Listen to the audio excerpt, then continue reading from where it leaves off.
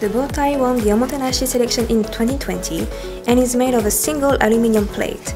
With butterfly wings as a motif, its coating is realized by 7 layers of paint. And because it is made of aluminum, it won't wrinkle and you will have a unique and fashionable look. It is reversible so you can have two different styles with one bow tie. It's perfect! It would be dull to wear the same suit and tie every time. But now, even with my usual suit, this bow tie makes my outfit look so much better.